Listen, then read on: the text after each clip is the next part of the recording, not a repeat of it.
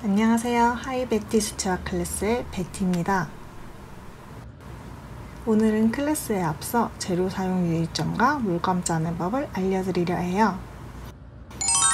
재료 소개 첫 번째는 마스킹 테이프. 가장 유용하고 없으면 정말 불편한 재료예요. 첫 장면에서 보신 것처럼 그림 주위에 깔끔하게 테두리를 남길 수 있어요. 유의하실 점은 테이프의 접착력이 너무 강하면 종이가 상할 수 있어요.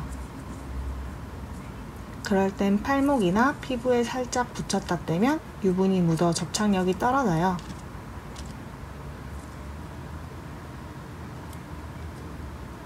마스킹 테이프는 항상 물감이 스며들지 않게 꾹꾹 눌러주세요.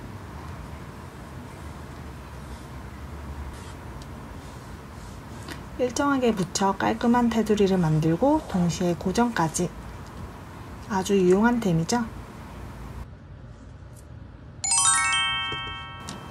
이번엔 붓 세척 방법에 대해 알려드릴게요. 붓은 소모품이기 때문에 아주 잘 관리해줘야 오래 쓸 수 있어요. 이미 한번 세척한 붓이지만 꼼꼼히 세척하지 않으면 이렇게 구정물이 나와요.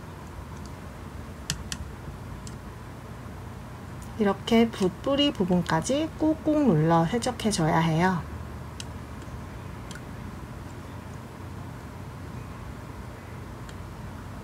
물통 벽면을 이용해 꾹꾹 항상 미지근한 온도에서 세척해 줘야 해요. 이렇게 꼼꼼히 세척해야 붓에서 맑은 물이 나온답니다.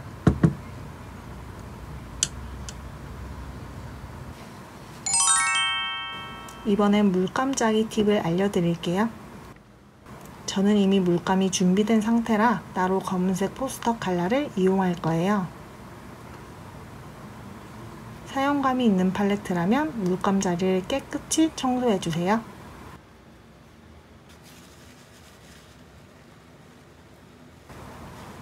아래의 수분도 꼼꼼히 제거해주세요.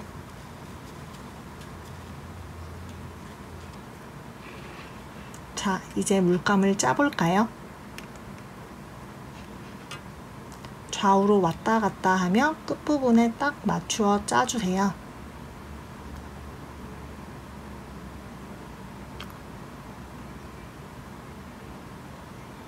팔레트 틀에 빈 공간 없이 전체의 3분의 1까지만 짜주세요. 물감 제형에 따라 흘러내릴 수도 있으니 다 채우지 않는 게 좋아요. 물감은 만졌을 때 단단하게 굳기 전까지 잘 말려주세요. 여러분, 모든 재료가 준비되었나요?